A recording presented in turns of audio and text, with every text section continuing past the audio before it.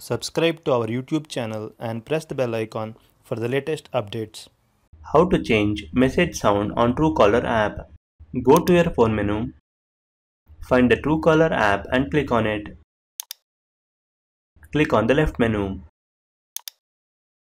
Scroll down and go to Settings.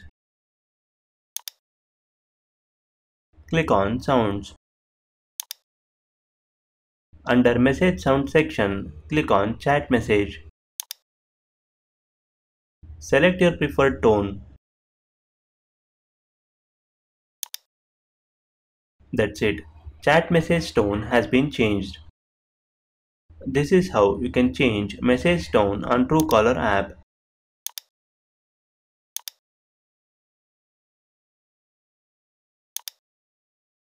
Thank you for watching.